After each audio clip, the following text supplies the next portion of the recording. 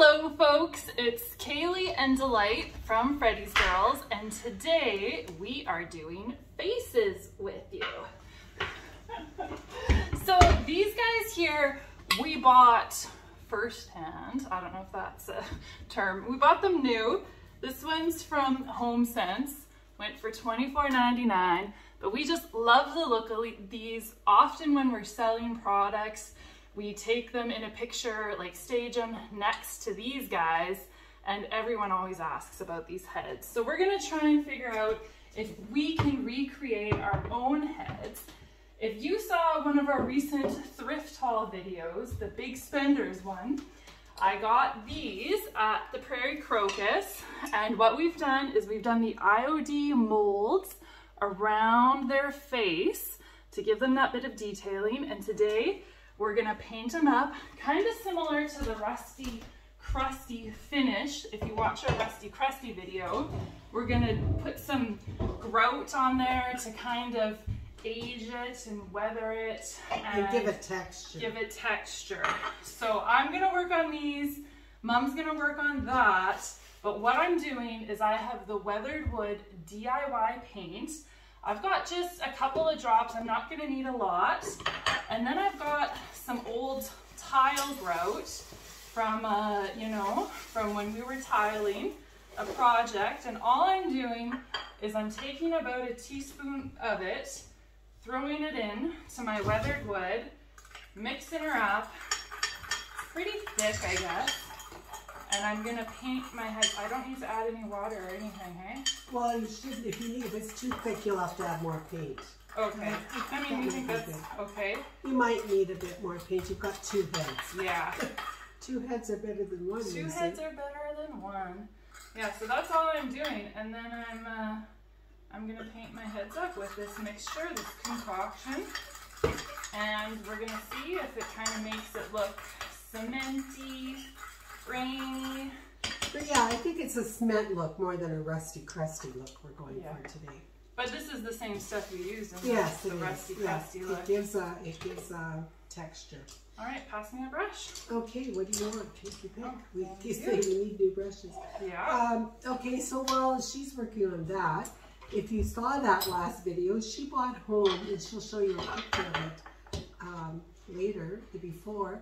But it was, we couldn't decide if it was for a bathtub or if it was just a little riser.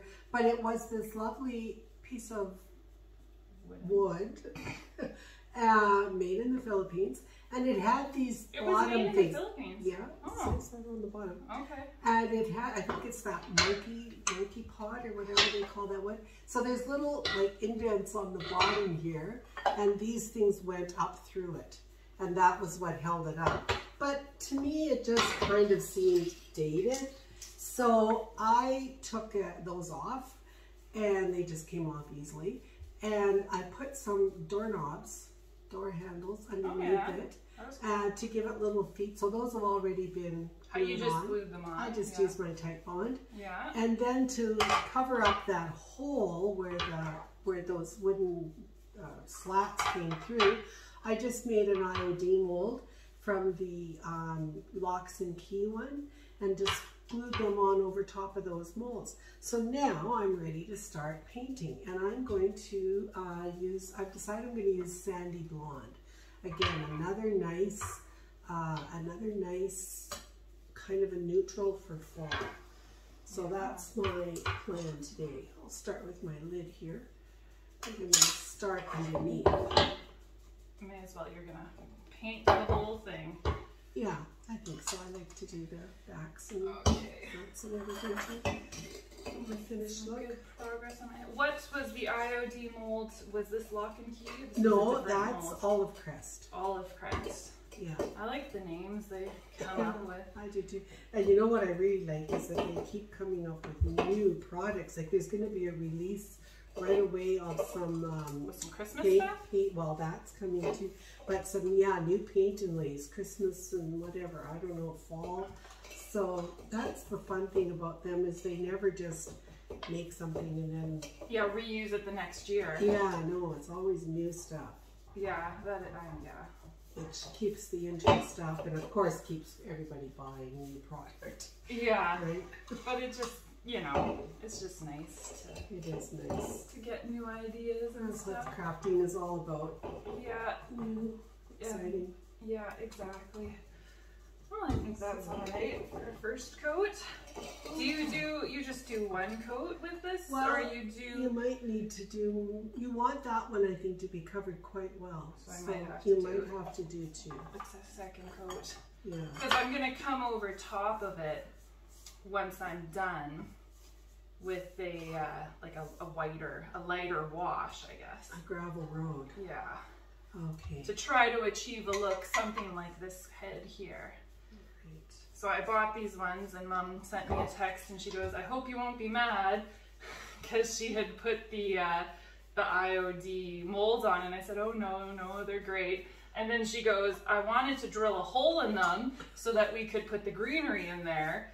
But there's no way we would have survived that. Like, Well, I I had Dad looking them over pretty good, and I thought, oh, you know, with a glass cutter or something, and he's like, "Mm, I'm not doing it. So there's a a glass shop down the street, and I was really tempted to take it to them, but then really? I, I was. I thought, Well, this is like ceramic, isn't it? I know, but I thought if anybody could do it, they'd have a.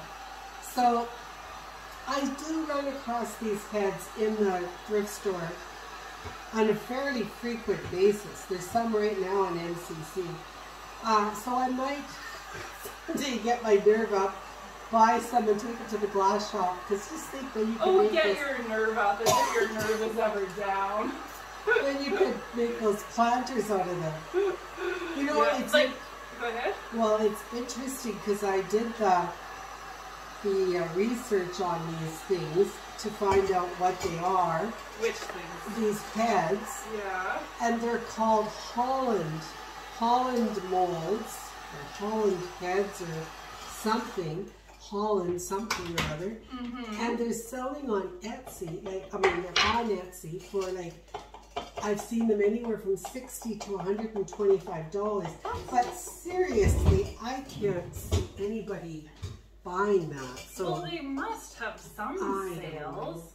I don't know. I just can't see Well, it. see, we have never flipped any heads or done any heads. So this is kind of our experiment to see if it will, you know, how hot of a seller they're gonna be. Yeah, I just don't think they're going to be that hot. But I never know. think so. Like these, Well- one, like these ones are smaller than those ones, which you know, Right, we're definitely updating them with this look. So yeah. that's that part. I mean, if you could get the greenery in there, that would. Oh yeah, then because like you say, whenever I stage anything close to them, we have some big shelves behind our dining room table. And so often I'll stage things on those shelves and that's where those again. those the dining Well, why? Why is that funny? Yeah, Okay. work. Okay. Okay. Uh, everybody, like they don't even notice what I've staged, but they'll say, "Are you selling the heads?" so I maybe, think they're going to be popular. yeah, we'll see. We'll see. So, by the way, I never asked you. You said you found that saint that helps people sell their houses. What Saint was it? Joseph. Saint Joseph. Did uh, tell people about that, and did you end up selling it? No, I have not sold it yet, but I did buy. Um, apparently, I I have a thing for saints. Like anytime I see a, um, who's the guy I like? Saint Francis. Saint Francis. Um, I always buy a Saint Francis. Yeah. And I have him in various sizes around the house and stuff. I don't know, I just like him. Like, he was the guy that said, um, oh, what did he say? See, I don't know anything about Oh. his teaching. Oh, it's, I can't think of it right off the spot. You caught me, you caught me off guard. Oh shoot. But he was the saint of, like, um, of nature and things like that, apparently. Okay, he- so that's why he's always in the garden. I guess then. so. So I have one in the garden. uh, Yeah, I have one out there as well. But anyhow, so I bought St. Joseph. He's apparently, uh, in certain cultures, they plant him right next to the for sale sign. And it's a, in their belief, he helps them sell their house. So Uh, he has not sold yet, but uh, he's had a lot of interest. Hmm. Well, I'm sure he'll go at some point. You just never know, right? You just never know. But yeah, the heads, the heads, I think, Do you if they to were, try? And I'll yeah, finish drying this one. yeah, I would give them a second coat. Yeah. Get them covered I quite might well. need more weathered wood. So where are you off to tomorrow? Oh yeah, we're taking a little trip. Dad and I were going to Moose Jaw. So Winnipeg is right in the center of Canada, and Moose Jaw is about six hours from here in the province right next to us, Saskatchewan. And uh, the reason we're going there is because um, my husband's brother and his family, they moved there about, oh man, it's almost two years ago now, I think. It must be. They moved from southern Ontario, from uh, just outside of Barrie, a little place called Oro Station, one of the prettiest places in Canada that I think I've ever been. I just loved it there. Um, second to Niagara on the Lake. Like you can't Yeah. better than Niagara on the Lake, except maybe our little town of Steep Rock that we take. Although it's not populated at all, our No. little town. So that's what's interesting about Niagara on the Lake, all the shops and stuff. Oh yeah, it's a great place. But anyhow, they moved from Oro Station. They were both retiring, and uh, my sister-in-law had family in Moose Jaw. Well, they also had family in Winnipeg, but they bypassed us because her father was in Moose Jaw and uh, elderly and stuff.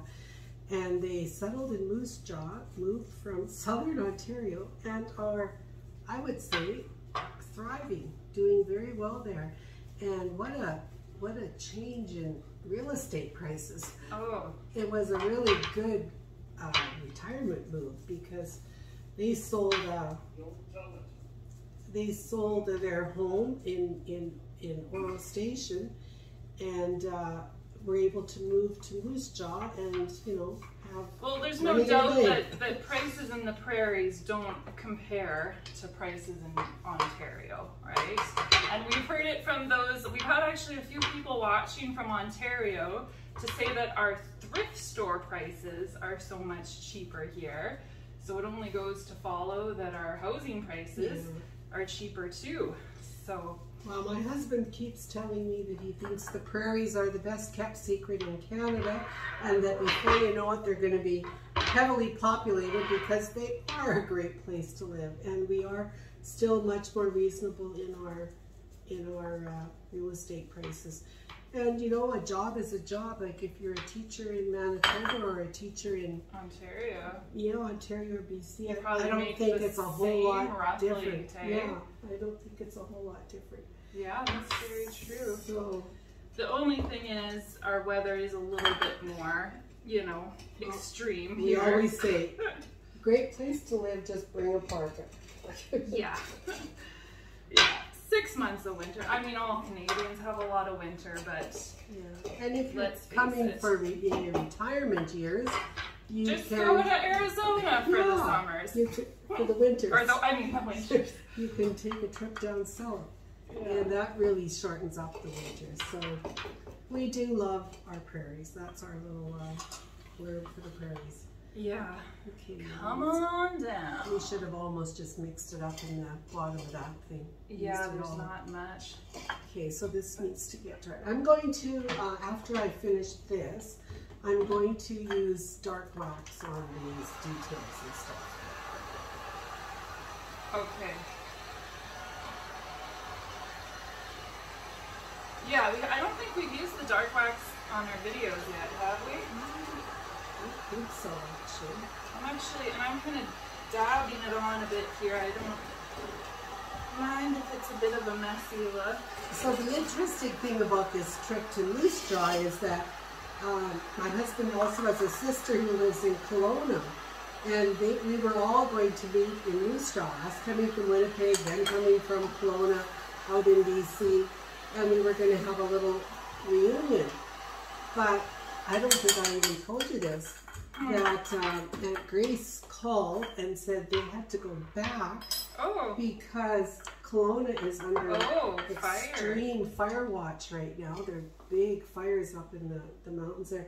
And where they live is in the evacuation uh, section.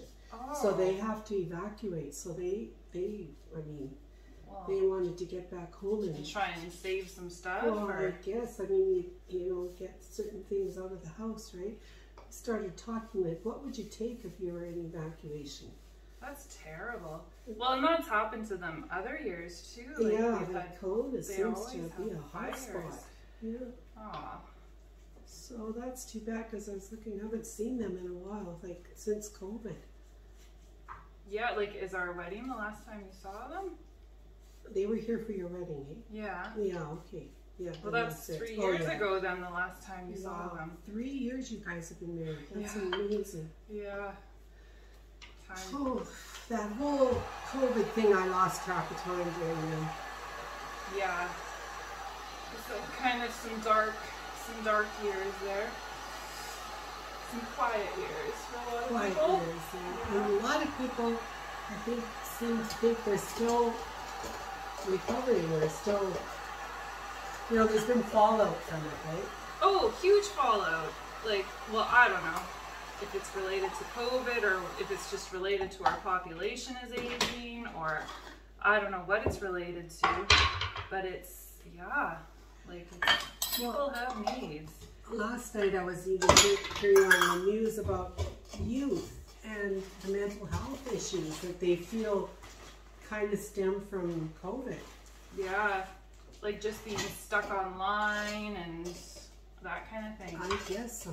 I guess a lot so. of people are just so disconnected or I don't know. Okay, folks, clear wax. We're going in with clear wax first because if, if you want to dark wax, you would not want to put it directly onto this very porous paint. So we, by clear waxing it first, you get a lot more control over what you do. So I'm going to go in here with some clear wax. Do you think this is good enough or should I do her? I think that's good, yeah. Yeah, like I he's better good. than she is, but it doesn't have to be perfect, hey? No, I agree. We are never aiming for perfection. Perfectly imperfect. I think it's Ginger Chip that says that. Oh yeah, I think so. Ginger Chip Reader. Perfectly imperfect. Perfectly imperfect. I'm excited to see how these heads turn out. Okay, pass me the gun. I'll draw them. Behind you. I'll try to not light anything on fire this time. I don't have any fabric here. Yeah, so look at how the color changes when you put that wax on. This isn't the cleanest brush. I should have one just straight for clear wax. Yeah. But it's gonna be fine because I'm dark waxing anyway, so. Yeah. You're gonna dark wax the whole thing. I think so. the- I Yeah. think so.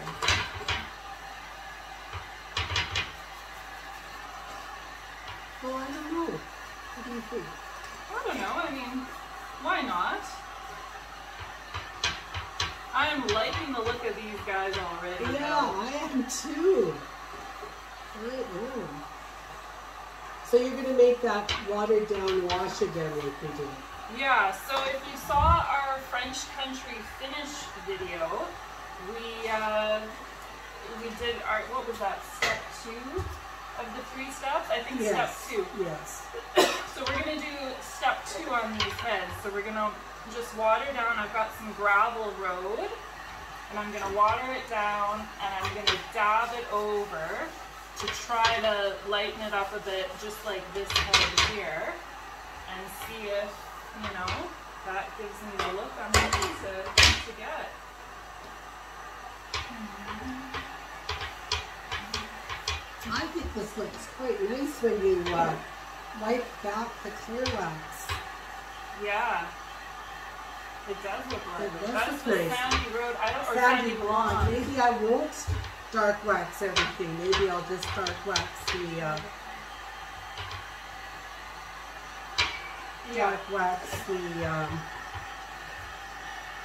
detail here. Yeah, because it looks nice. It does look nice. I like this grout look. Especially once you start to lighten them up, right? Yeah. Like Well, just- that head would have started off with something dark like that, like the one we bought. Oh, absolutely. I bought one of those at uh, Home Sense and one of them at Michael's. I first of all found the one at Home Sense, and then I went into Michael's and they had all this that type of thing on half price. So I thought, oh, why not? so. Yeah, I'm going to use the dark wax from um, DIY. Actually, this is black wax. There is a dark wax, like a brown, and a black. Okay, so. I'm rubbing my paint off with this cord here.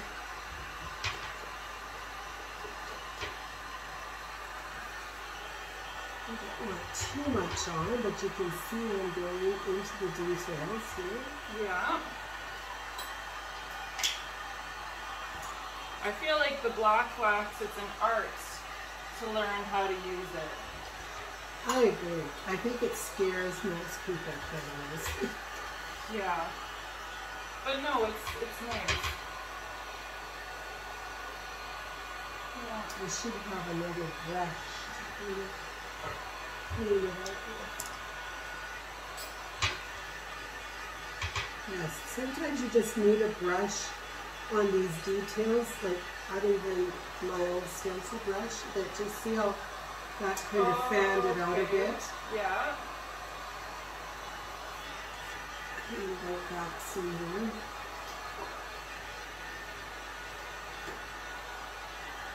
These guys are almost dry. I think Okay. I will put some of this. So here my heads are. Step one is done. And now, holy, they're hot. One and done. Okay, if you can see the difference from this side to this side.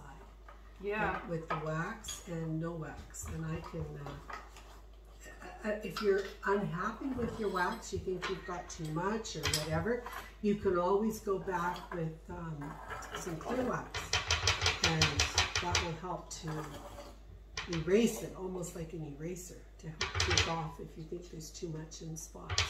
I should probably have a rag. Uh, yes. Oh. I've got a servant here. Look at that. Okay, so you're watering that now, right? Yeah, I am.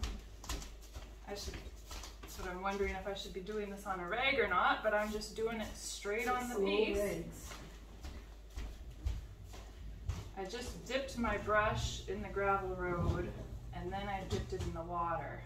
And so this is just one dip of gravel road so far. It's gravel road. I. Yeah, it's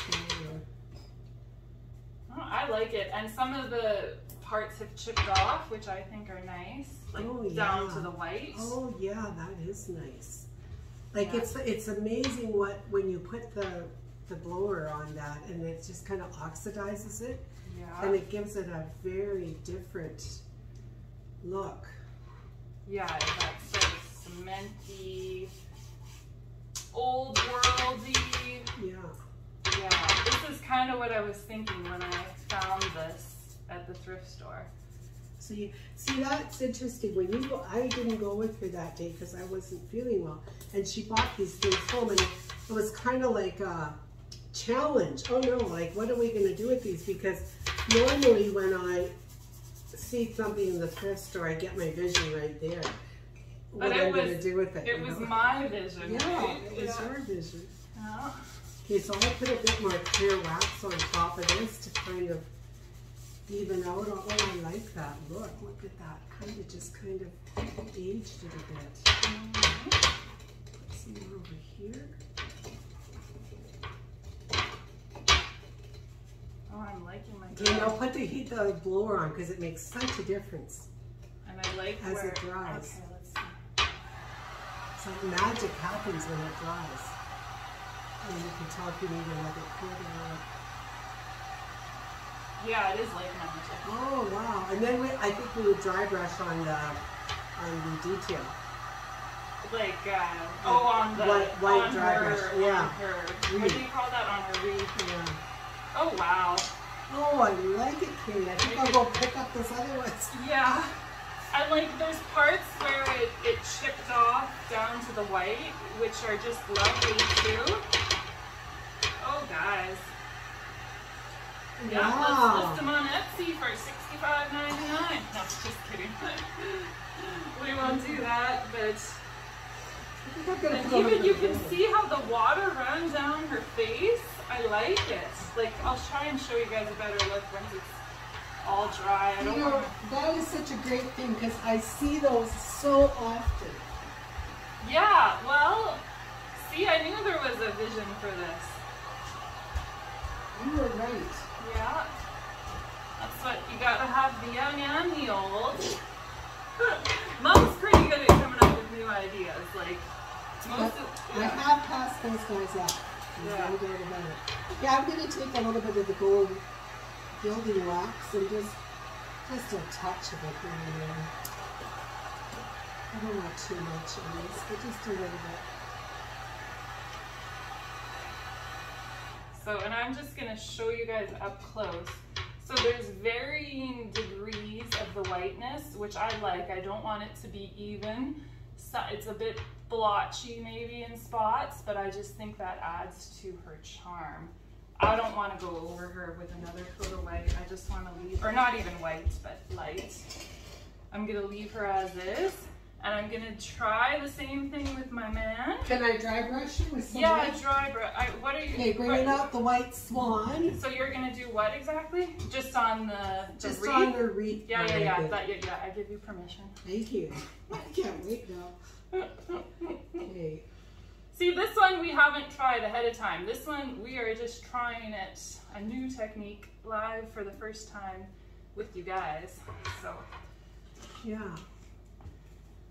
A new way to update heads. yeah. Okay, if you remember the dry brushing technique, and don't forget in the end this will all get, I would big top this, not wax it. Yeah, I think the wax, it, you wouldn't be able to wax Yeah, it because it's so difficult. rough. Yeah. Yeah. Um, So the big top might even change the final color. it'll make it a, A little more tiny bit. vivid, but not not too But much. see how the water's sort of running? I'm gonna try and get it to run down the face. But you know just, what might have been cool? Hmm. To add a bit of green in there. Maybe like it Oh. looks like moss and spots. I did that one other time. See, and I'm just letting it run. Okay, so I've done, put a little bit of paint on a dry brush and I'm wiping it off on my rag and then just gently fanning out over these, oh wowzers, wowzers. Don't you love these molds? Like they're just such Oh. Simple things, but they can just change personalities. Yeah, no, I think the white is a good idea. Like if you wanted, I don't know that we would on this one, but you could even put some gold or hmm, something.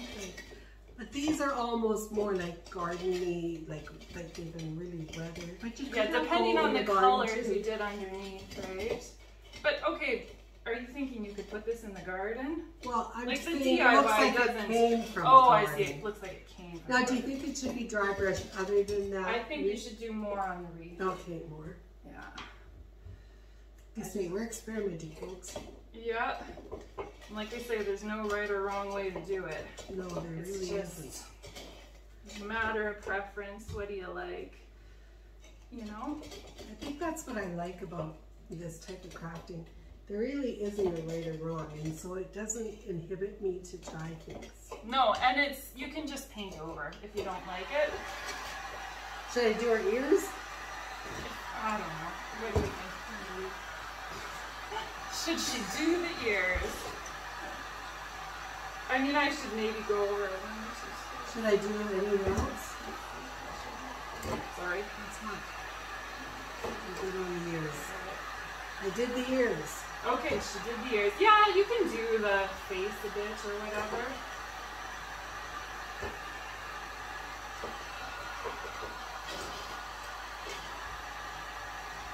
It I- I feels just- so nice. It does. I just think this thing is so healthy for people to do.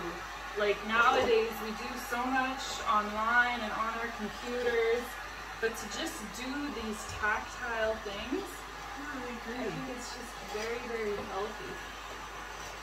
Like even at this time of the year with all the canning and stuff like that, Yeah. I, I feel that's a healthy thing too. Like, oh, you know, like I just, it's not hard or anything to do it, but it's just, yeah, No, I think it's just good for you. like physical labor. Yeah. Okay, there she is. You can show. She's cute. Yeah, I like her. So yours is pretty well done, right? I think so. I might just have to put a touch of light on top. I'm just gonna dry him up. There's a few places I had a fair bit of water, so I can see it kind of cooling in his mold here.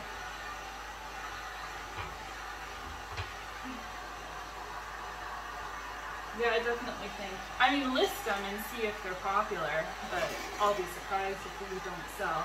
Let you know if they're popular. or not. Yeah. Right now we just sell locally. We just list stuff on Facebook Marketplace and people come and pick the stuff up. So, I put a little bit of dry brushing on top. What do you think? And we'll see. no, oh, I see. Yeah, it's Just a good. I touch. think just to, Maybe put a bit more gold. Now, some people have the impression that if you put wax on, that that must be the final stage. That there's you can never go over like um, any type of gold wax or any kind of wax with anything once it's once you put that on. But that really is uh, a misnomer. It's not really true. Like if you were waxing something full on, gold blown out, then you would not want to paint until it had cured. Like I would maybe even up to a month. But when you're just putting little dabs here and there, uh, it does not hurt anything to go over with it with a bit of dry brush after. It's, Yeah. it's not it's not going to fall off. It's not going to crack off. It's not going to. It just can sometimes change the look of things. I'll show you guys a close up of these heads and you can see the one with the white dry brushing, brushing and the one without.